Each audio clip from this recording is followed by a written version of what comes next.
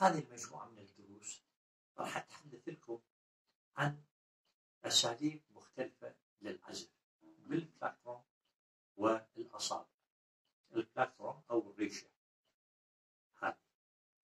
وراح أعرض عليكم بعض الفيديوهات اللي راح تساعدكم للتناوب أثناء العزف بين ال plectrum والأصابع.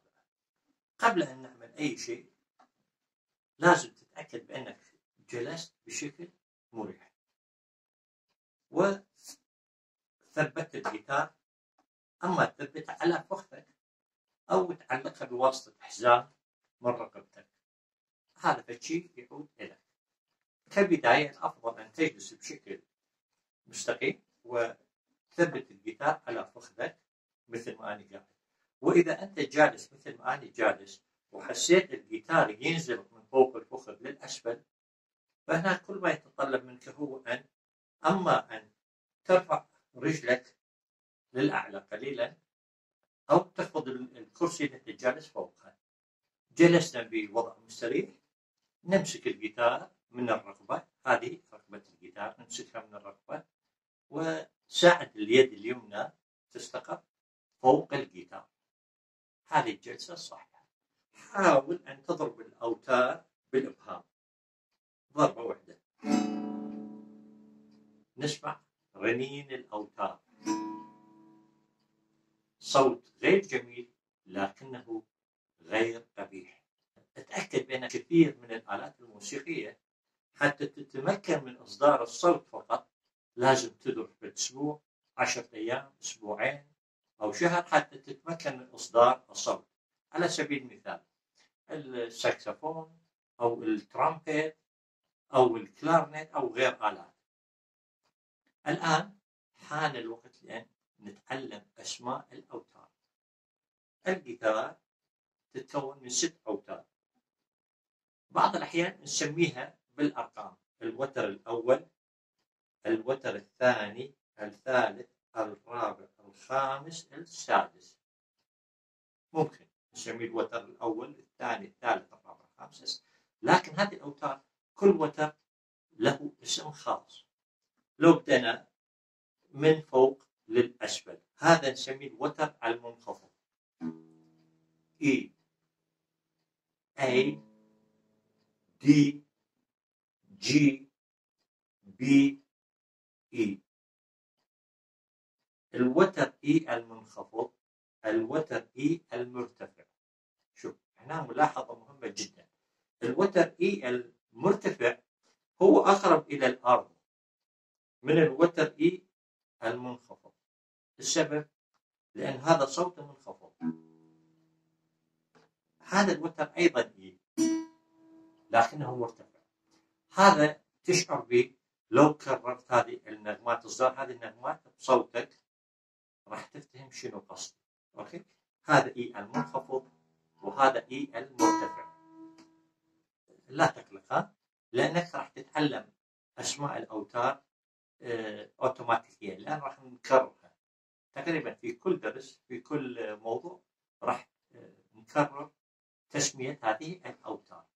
كل ما هناك الآن تتعرف يعني كل وتر له اسم خاص وهذا نسميه الوتر المنخفض وأحيانا نسميه بيس وهذا نسميه الوتر المرتفع ونسميهم treble راح نتطرق إلى هذا الموضوع في الدروس القادمة. ضبط الأوتار أو كما يسموها tuning إحنا بالعراق جماعتنا يسموها دوزان. ندوزن ندوزن أوتار الجيتار أو ندوزن أوتار العود أو الكمان يسمى دوزان. الكلمة الصحيحة أو الشائعة عالميا tuning أو نضبط أوتار الجيتار. هناك عدة أساليب لضبط أوتار الجيتار. ممكن تضبطها سماعي تثبت لك صوت وتعتمد عليها تضبط الأصوات الأوتار الباقية. هناك بعض التطبيقات موجودة تسحبها بالموبايل مالك ويعطيك صوت المي وأنت آه، تدور مفتاح الوتر ال E المربوط عليه المرتبط به إلى أن تطابق الصوت الجيتار مع الصوت الصادر من التطبيق. لكن الآن سأعلمكم بطريقة بسيطة اللي كل واحد يقدر يطبقها احتمال ما عندك موبايل أو هذا ال application آه اذا نأخذ الوتر منخفض اي الفريت الخامس منه لو نحسب واحد اثنين ثلاثة أربعة خمسة. هذا الصوت راح يكون أي اللي هو صوت الوتر الخامس. استمع جيد. استمع جيدا.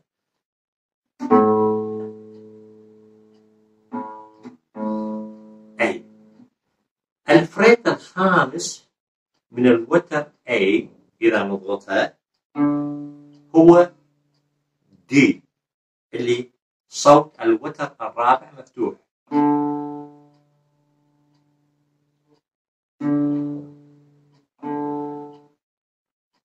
الفريت الخامس من الوتر الرابع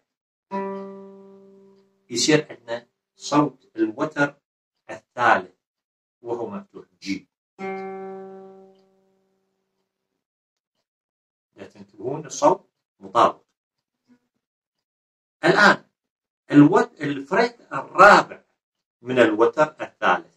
انتبه مو الخامس. ال fret الرابع من الوتر الثالث هو يطابق صوت الوتر الثاني مفتوح اللي هو B وأخيرا أن ال fret الخامس من الوتر الثاني B اللي إذا حذفناه تعطينا نغمة E نغمة الوتر الأول.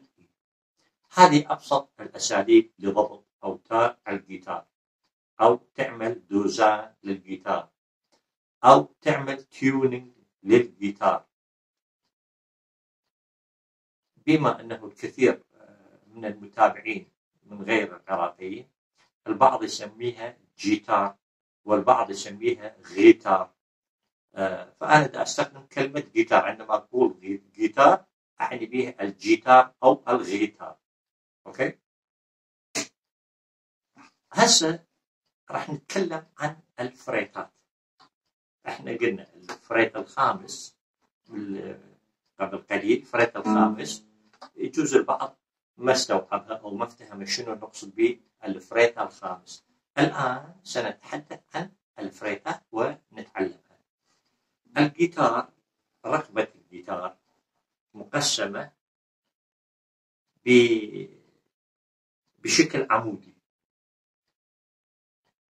كل تقسيم من هذا يسمى فريت مصطلح عالمي. بالعربي يسمى الحنق. الكلمة هذا بصراحة أنا ترجمتها عن طريق الجوجل أنطاني معناه حنق. فراح نستخدم حنق عندما نقول حنق نقصد به ال fret فالجيتار رقبة الجيتار مقسم إلى مجموعة من الفريتات أو مجموعة من الحنق ال fret الأول ال fret الثاني ال fret الثالث الرابع والخامس والسادس والسابع وهكذا. لازم نتعلم أسماء هذه الفريتات هناك انطتنا الجيتارات معظم الجيتارات عليها علامات دالة تكون. أنت ما ملزم أن كل ما نقول لك ال fret الخامس تروح تحسب واحد اثنين ثلاثة أربعة خمسة. لا. أو أقول لك ال fret السابع تجي تقول واحد اثنين ثلاثة أربعة خمسة ستة سبعة حتى تلقى ال fret السابع. معظم الجيتارات ال fingerboard للمعلومات أيضا يسمى fingerboard لوحة الاصابع أو الرقبه شو تريد تسميها سميها على ال fingerboard يكون موجوده علامات. عموما على ال fret الخامس هنا تكون نقطة. إذا عندك جيتار انتبه على الجيتار إذا النقطة هنا ما موجود على ال fret الخامس تلقاها هنا حاطين لك إياها. على هذا المكان. نقطة. ونقطة أخرى تكون على ال fret السابع. واحيانا يضعوا لك نقطة أخرى على ال fret ال 12 ال 12 okay؟ فأما يوضعوها هنا العلامات أو يضع لك إياها أمامك. هذه علامات دالة لعازف الجيتار حتى لا يحسب ال fret وين ال fret الخامس؟ واحد اثنين ثلاثة أربعة خمسة هذا الخامس. وين ال fret الثامن؟ هم يرجع يحسبها من البداية. إذا هذا ال fret الخامس. السادس ياهو بعد fret. الرابع ياهو قبل fret. السابع ياهو السابع حاط لك إياه نقطة هو علامة دالة. التاسع ياهو أنت ما ملزم تحسب واحد اثنين ثلاثة أربعة حتى توصل التاسع. من السابع أضيف له فريتين هسه راح نجربها عمليا. إذا قلت لك اعزف لي ال fret الأول من الوتر E المنخفض أنت قبل كل شيء راح تلقى الوتر E المنخفض اللي هو الوتر السادس هذا. ال fret الأول هذا واحد وإذا قلت لك اعزف لي ال fret الثالث راح تحسب واحد اثنين ثلاثة تقول لي هذا. وإذا قلت لك ال fret الخامس من الوتر E راح تقول لي واحد اثنين ثلاثة أربعة خمسة. أو تشاهد العلامة اللي تكلمنا عنها قبل قليل. هذا الخامس هنا الفريت الخامس. لكن شلون راح نعزل؟ شلون راح نخلي اصبعنا فوق الفريت تخلي خلف الفريت هذا. هذه القطعة المعدنية تخليها خلفها وتضغطها برأس الطرف الأصبع لا تخلي هنا بالنص. لا تخلي اصبعك شكل مائل ولا تخليها ما أعرف شلون. خليها بشكل عمودي. جهد الامكان خلي أصبعك تكون بشكل عمودي. وخلف الفريد وبالإبهام تضغط بنفس اللحظة من خلف رقبه الجيتار من هذا الشكل يعني راح تكون هذا الأسلوب. وبالريشة تضرب الوتر أو بالإبهام. أو بالسبابة. يصدر الصوت. من البديهي جدا في البداية أصابعك تتأذى شوية تحس بألم. لكن لا تخاف. لأنه أصابعك ما متعودة على هذا الحركات تضغط وتر تعزف وتر تنتقل من مكان إلى مكان مستخدم أطراف الأصابع. فتحس بها شوية ألم. كل ما تحتاجه أن تفركها وحركها. افركها وحرك أصبع آه، إيدك وراح تتعود عليها وتصير المسألة طبيعية جدا. راح نعزف ميلودي بسيط. ما زال تعلمنا كيف نصدر الصوت. قلنا نضبط الوتر خلف ال fret. راح نعزف لنا melody بسيط. شلون نعزف ال melody البسيط؟ راح نعزف ال fret الثالث من الوتر E بعدين نعزف ال fret الثاني من الوتر نفسه وال fret الأول.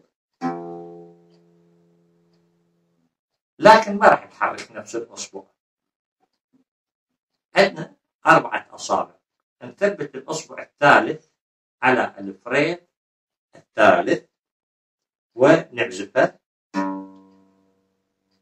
الإصبع الثاني أو الوسط على الفريت الثاني والإصبع الأول على الفريت الأول. وأخيرا الوتر. فد ميلودي بسيط نحصل على هذا اللحن.